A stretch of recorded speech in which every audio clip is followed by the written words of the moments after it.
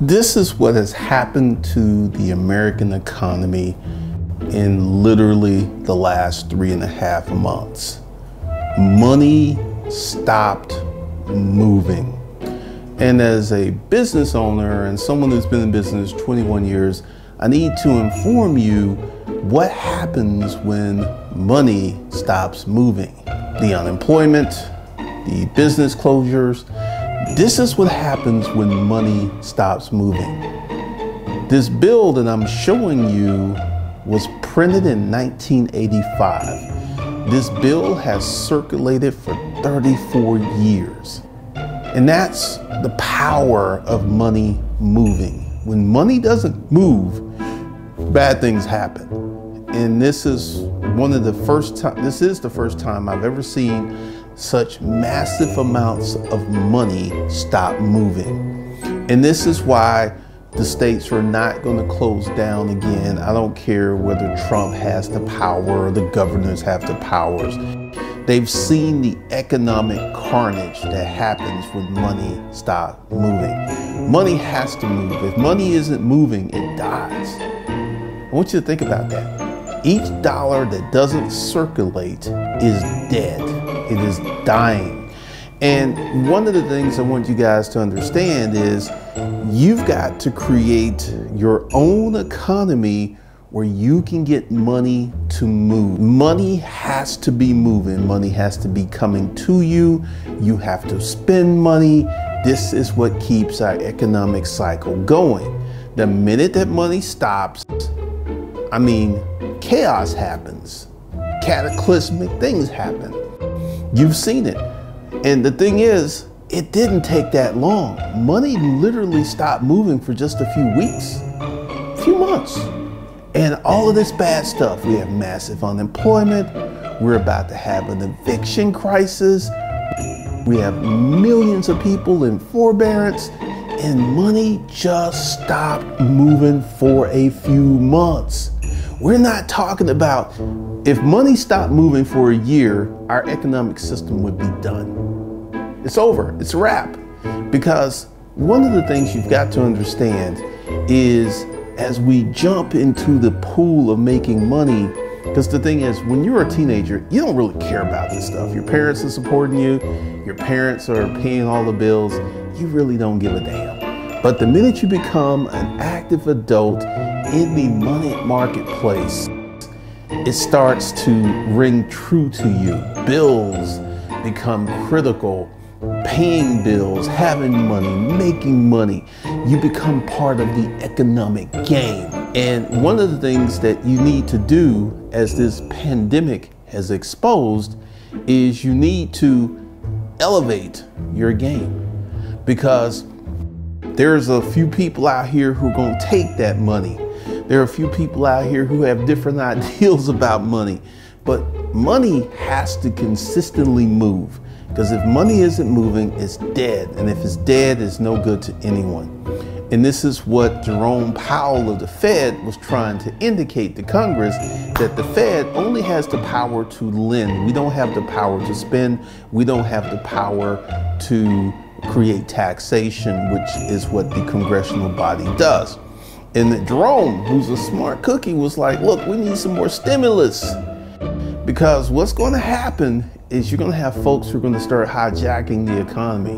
You're going to have folks who are just like, who are going to get sick and tired of being, living the way that they are, and they're going to take matters into their own hands. They're going to go grab a grab a piece of iron and go make some moves and make some things happen. So you've got to be really, really careful of this.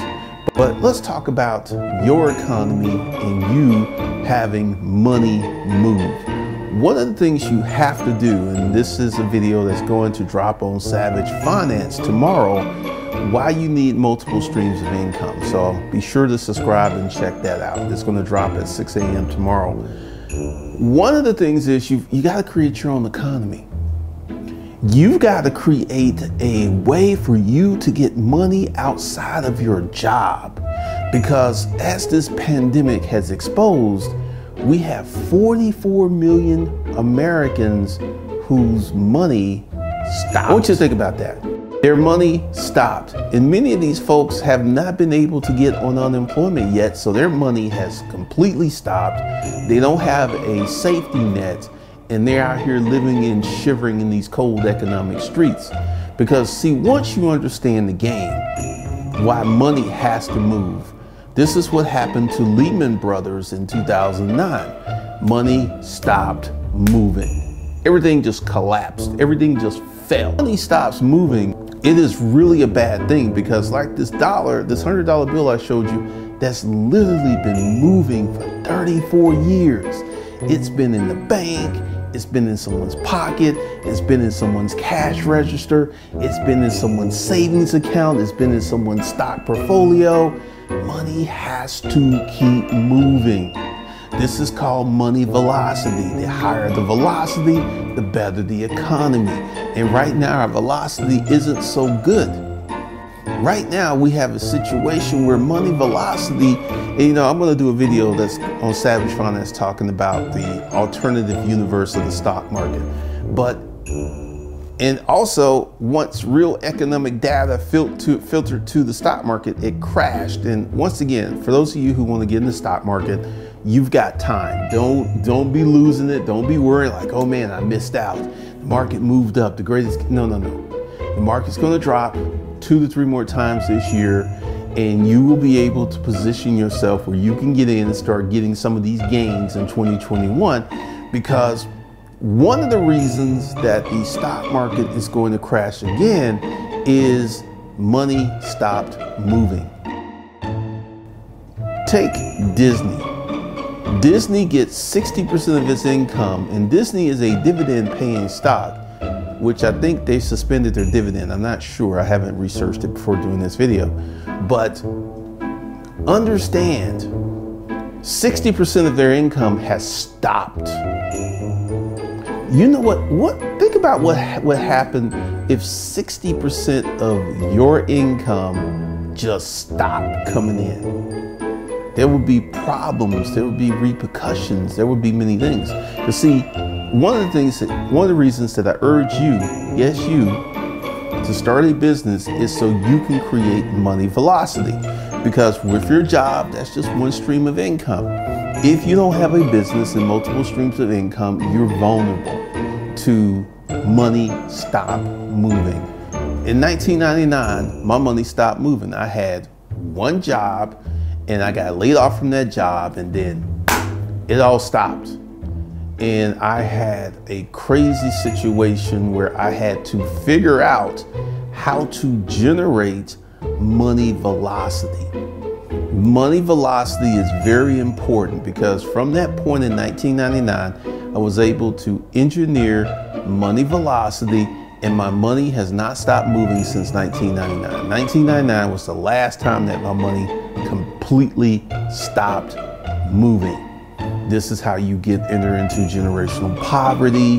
This is how you have divorce. You know, when your money stops moving, you have a multitude of bad outcomes that's going to happen. And one of the things is you got to keep your money moving. You got to keep staying in the economic markets because when money stops moving, you've seen what has happened to our economy. And you know, for all these V-shaped recovery people, see, th this is the situation. Money stopped moving, right? So for us to recover, money's going to have to move to a multiple of 10 times what it was doing. So your money is going to have to 10x to recapture and regain lost territory. And right now, money is not moving at 10x. Money is moving. I don't even know if money is moving. I don't even think money is moving at the money velocity that it was moving before this happened, which means each month that we have reduced money velocity, we get further and further behind. Look at your personal economy. What happens when you miss a month of bills? You get behind by three months, right?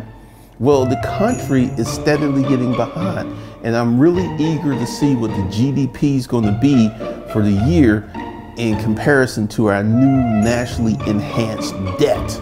Because this is another issue. When our national debt is more than our GDP, we run into money velocity issues. Money starts to slow down, and this is not a good thing. We want money is moving as fast as it can because if money isn't moving, money is dying. And if it's dying, it is of no use to anyone. And this is why the credit markets, you know, there are people right now who are still getting credit cards. There are people who are still buying houses. There are people who are still buying cars because these industries realize that if the money stops, they're dead. It's over. It's a wrap. And we're going to see more interruptions with money as we go on. Like I said, the market's going to crash two, three more times this year. I'm sure of it. We're going to have a foreclosure crisis. We're going to have an eviction crisis. And all of these things slow money down.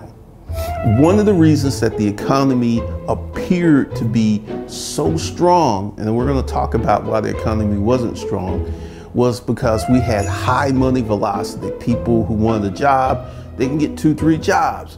But the jobs were not really good jobs, you know, driving for Uber, Grubhub, Instacart. These were jobs, but they were jobs that had, they were not careers. And see, for us to have the strong economy that people would have led you to believe, people need careers. People need upward mobility.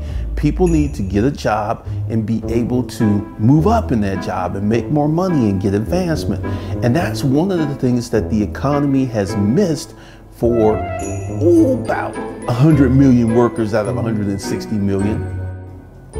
They had no careers. They just had jobs. And, and once these jobs went away and once the money stopped, this is when all these bad things started to happen because money has got to move. Money's got to keep moving. And in your personal economy, money has to move. You know, one of the things I practice is I have five streams of income. I have YouTube, I have Savage Finance, I have Hustlers Kung Fu, Hustlers Kung Fu Life Skills, B School for Hustlers, and Disruptive Mail. And shortly, I'm going to have a sixth stream of income because I got to keep my money moving. I got to keep it moving because if it ain't moving, bad, bad, bad things happen. So you've got to create your own economy and you've got to get money moving. Because if money's moving into your checking account, it's moving into your investments, it's moving into your retirement, this is a good thing. But when you have a lack of money movement, you die. It's just that simple. You die. So this is why money has to move, and this is why it's really important. And like I said, the states are not going to close again. I don't care what happens. ain't going to close again because we've already seen that movie, got the t-shirt, ate the popcorn, and we're like, uh, we don't want to see that movie again. We don't even want to see a rerun of that movie again because I'm here to tell you that when people realize what happens when money just stops, it's critical. It's crazy. And what you want to do is to create your own economy and get money moving from customers' hands to your hands, to your bank account, to your investment funds, to your house. You, you, you want to you wanna create the circulation of money. You got to have circulation of money in your life because if you're not practicing circulation of money, then you are just going to be one of the people who's going to be regulated to the badlands.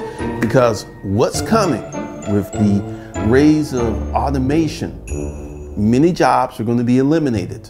So the how do you create a position where your job can't be eliminated? You give yourself a job by starting a business, man. That's your only option. I know many people don't want to hear that because a lot of folks, there will be people who will always have jobs. We're going to have policemen, we're going to have firemen, we're going to have nurses, we're going to have doctors, we're going to have college professors. So there will be a segment of society that will always have a job.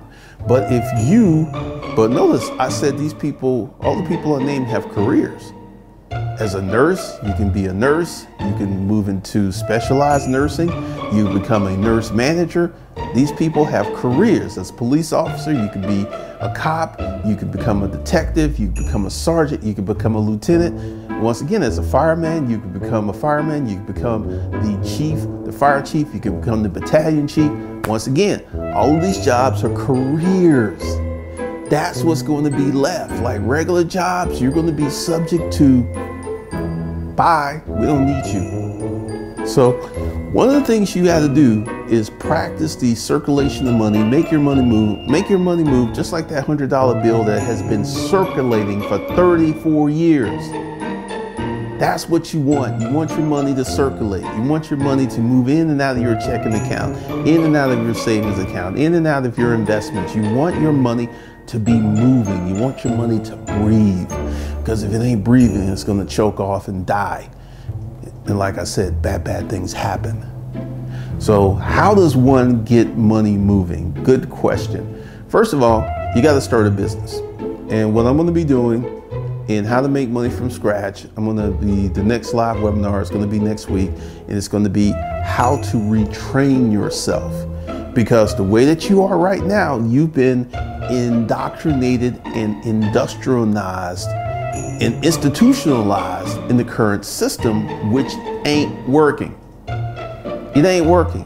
This little experiment we had with the pandemic has exposed people who are not working, investments that are not working, the system is not working. Airbnb, all these people who went to Airbnb and got all these properties and got leverage to the hilt, this exposed them. All of these people who are making six figures, they've been exposed because like the boss is like, wait a minute, we got Johnny and Jill who make $25,000 a year and they're producing more than Jim who makes 150. What? Jim gotta go. So everybody's got exposed.